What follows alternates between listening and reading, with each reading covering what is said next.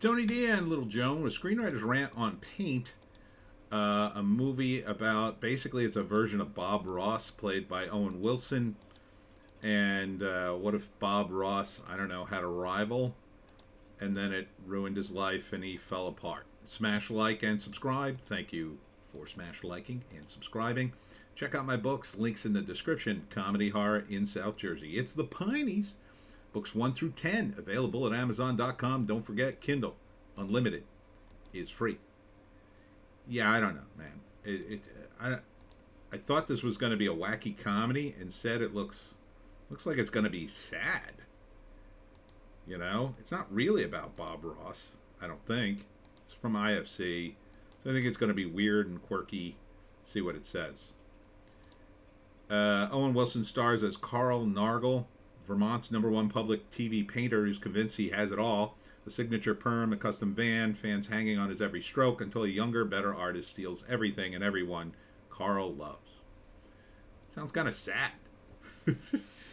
and I like Bob Ross. Everybody likes Bob Ross. Why would you make him the the kind of negative energy in the movie? It seems weird. All right, so what's it going to be? Well, it's a pretty easy breakdown, right? First act, he's he's going along great. He's the top of his game.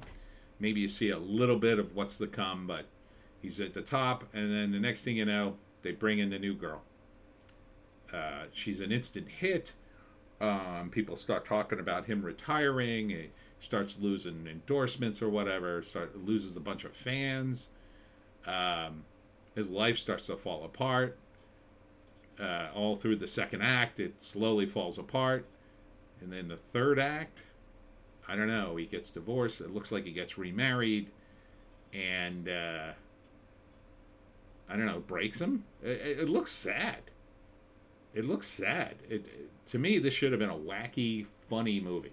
This should have been a hilarious movie starring Owen Wilson about another version of Bob Ross, who was a bit of a maniac. Right? Should have been more like Kingpin. Right? The Bob Ross maybe is a total maniac.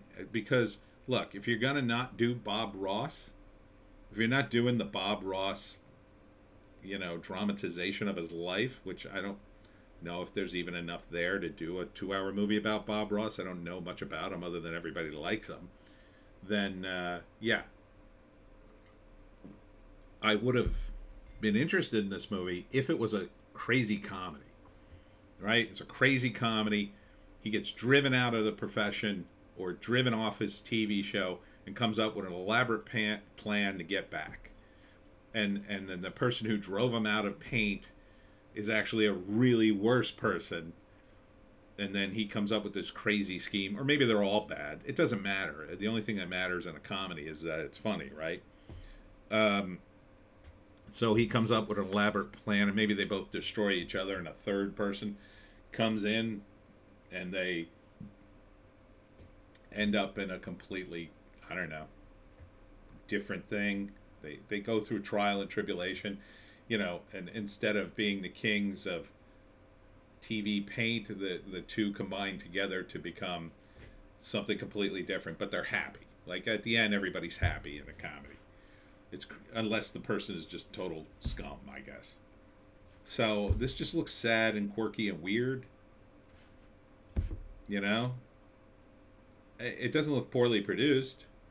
I don't want to see Owen Wilson moping around the screen.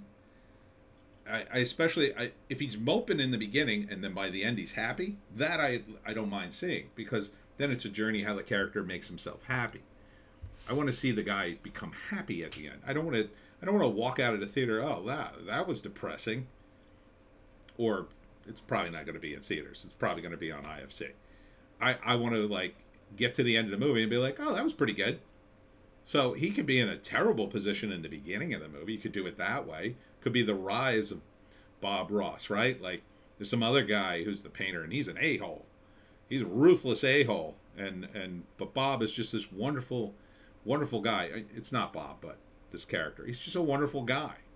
And for some reason, like that people are always after him and he's just this innocent person that everybody rallies around to protect. That could be a fun thing. Be funny, This just doesn't look funny. It, it looks kind of sad. Okay, his life falls apart, and then what? Does he does he get it back? It looks like he doesn't, and it looks like it takes place in the I don't know late seventies, early eighties, maybe. So, what what is this?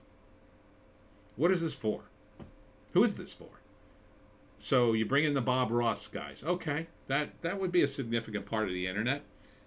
But then it's sad. They don't want to see Bob Ross sad. I don't think so.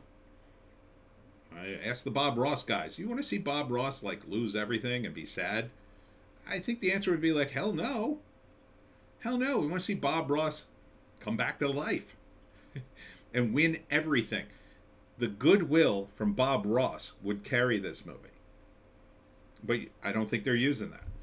Now that's just based on the trailer. Maybe it's a different movie. Maybe they're not showing me enough. But the woman who replaces him, I think it's Rosario Dawson. Uh, she's not in the credits, so I guess it's not her. It looks kind of looks like her.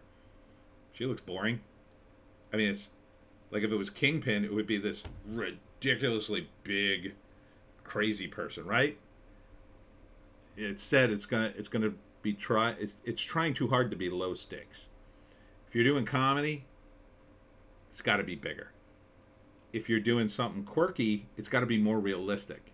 And throwing Bob Ross, the Bob Ross aesthetic here, I think I think that's a mistake. Then, if you had not done the Bob Ross thing, that might work because then people could say, "Oh, is this a real thing? Did this really happen?"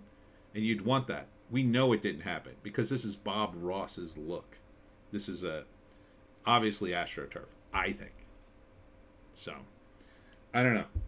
I, I don't know what's wrong with comedy. You need to go big or go home.